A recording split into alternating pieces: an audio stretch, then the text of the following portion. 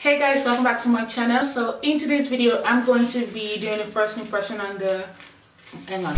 Okay let's start that again. Hey guys welcome back to my channel. So in today's video i'm going to be doing a first impression on the new no it's not new on the rcma no color powder. I've been hearing a lot of things about this powder. The hype fully came back um, about a year ago but apparently wayne goss had been using it for a long time and i watched a couple of his videos. So i decided hunt it down and give it a try and test it out on camera. So i'm going to be doing the first impression on this baby right here. So if you're interested keep on watching. And also yo if you're new to my channel welcome. Why not subscribe while you're here? And once you subscribe click that notification bell button next to it as well so that you can be notified every time i upload a video. I upload videos twice a week on makeup product reviews. I love doing product reviews particularly foundation reviews. So if you have any suggestions feel free to comment that down below. All right so if you're interested in what in seeing this first impression keep on watching this video Hey guys, I'm back. So as you can see, I've only done my brows and I just applied foundation. And the foundation I have on is the L.A. Girl Pro Coverage HD High Definition Longwear Illuminating Foundation. And as you can see, it's very illuminating. So um, yeah, I decided that's the best thing to choose. Just kind of see how this works for it. So basically, RCMA themselves mentioned, they said, let's just go to the website. So they said, um, RCMA loose powders are a staple in the industry and should be a part of every pro makeup artist kit. RCMA powder will keep your foundation set and dry without caking. Our no color powder can be used for all powdering purposes.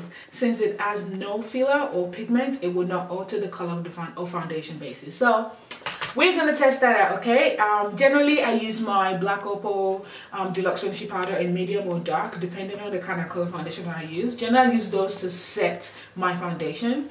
Um, but we are gonna set the foundation using the RCMA no color powder. And what, upon watching um, Wayne Goss's video he used a powder puff. I don't really have a soft powder puff but I have something that I've been using for a while now to kind of just you know set my foundation. So this is what I'm going to use so this is the packaging of the RCMA no color powder if you haven't seen it already. And it comes with a with holes at the top where the powders will come out of. That sounds really wrong. So I'm just gonna open it and just remove the seal. It comes sealed. Oh wow. Eh, nice. Let me just see. First impression it's a very fine powder it's kind of almost like flour but seems finer than flour do you know what I mean? And by the way, guys, for those that don't know, RCMA also has translucent powder. I've been noticing that a few people on YouTube have been getting them mixed up. This is the no color powder, which is it's a fine pigment, but the translucent powder, I'm guessing won't be a fine pigment. So uh, they, they are very different. But yeah, I just thought I'd mention that because I've been seeing a lot of people mix that up. All right, so the powder is very, very fine. Wow. Okay.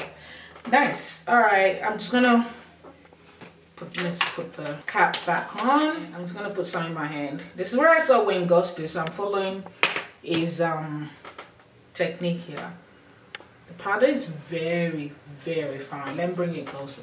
All right, I think that's better. Oh, I should have done that a while ago. Anyway, so this is the powder. So this is it. As you can see, like it looks really, really fine. Oh my goodness and I'm just rolling the powder puff in it and I'm dusting it off.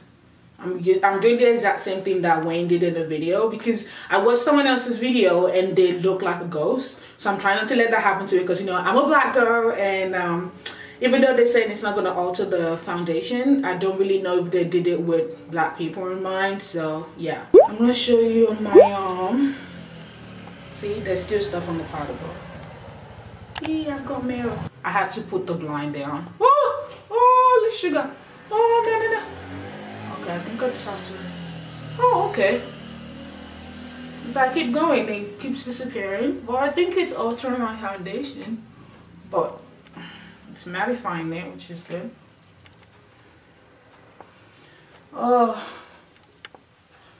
in a way, I feel like I'm kind of setting my foundation the way Patrick Starr sets his foundation. But, you know, he goes, I've always wanted to do that, to be honest. Alright, focus on me. Oh, this is definitely altering my foundation. Alright, I just finished using the entire thing on my hand. Alright, let me just... I can go over my brow as well because I've set that bad boy. It's not moving. You know what? I should have done one side and left the other But guys, do you feel like my face looked different? Did it alter the color? Actually, I don't think it did. I think kind of gave me the same... Hmm.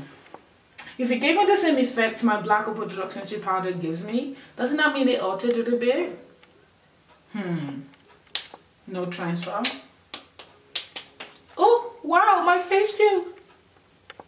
Oh my god, my face feels so...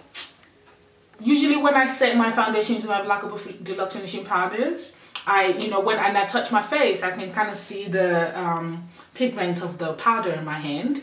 But yo, this, there ain't nothing coming off, man. Like nothing. Oh my god.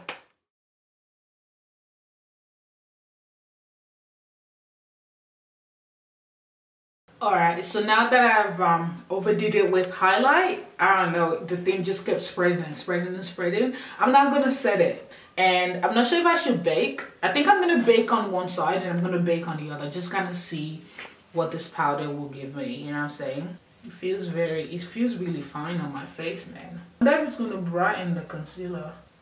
Yeah, I'll bake under here as well, why not? But this one, I'm just gonna dab it in while wiping it off at the same time. You know, not bake. It looks like it's brightening it, doesn't it? Well, it definitely does alter it but set it man. Like even while still setting it I can feel it set already. Okay it's definitely set my under eye concealer which is great. All right guys so I'm done with the rest of my makeup. I honestly don't really know what to say about this powder. Honestly. Oh wait on the bottle they did said that it will set your makeup with a flawless finish and won't cause flashback so I guess now I'm going to take a photo once again and see if there is any flashback. Well, that's cool. There's no flash. Come on, focus. There's no flashback, which is good. Ah, okay, yeah, so this powder I would say is true to what they said. I like it. I'm still gonna have to keep testing it to see, you know, what else it can do, but so far, so good. It made me feel like I dunked my face in water for flawless foundation finish. If you watch my Korean beauty hack video or Korean beauty trick video, you know what I'm talking about. It's basically like diving your face in water after you've applied your makeup for flawless foundation finish, and that's how this powder, that's the effect this powder gave me when I set my foundation, and also when I set my highlighted area almost instantly it gave me that smooth finish. So i do agree what goss said I think because I'm so used to doing the baking with my Bang powder and whatnot, like I just kind of, I felt like something was a bit off. So I think it'll take some getting used to. Alright guys, thanks for watching. I hope you enjoyed this video. If you did, please give it a thumbs up. And if you're subscribed already, don't forget to do so before you click out this video. And whatever you do, remember to love yourself. And shout out to Tammy, Tammy Clark. You guys, you guys need to go and check out her YouTube channel. She's the bomb diggity. I don't know if anyone says that anymore. I think I've just made things awkward now, but it doesn't really matter. We're just gonna let it go. You know what I'm saying? Saying yeah we're gonna but shout out to tammy. Here she is right here. Make sure you go and check out her youtube channel. And what i said yeah you know what i said already. I think things are getting a little bit awkward now. I think it's getting a little bit too hot so my brain's kind of getting a little bit fried so i don't really know what's happening. I'm kind of looking all over the room like i'm high but i'm not high. I'm only high on jesus. I'm high on life and high on highlight. Yes i am. Bye bye bye bye let's just stop this now before shit get worse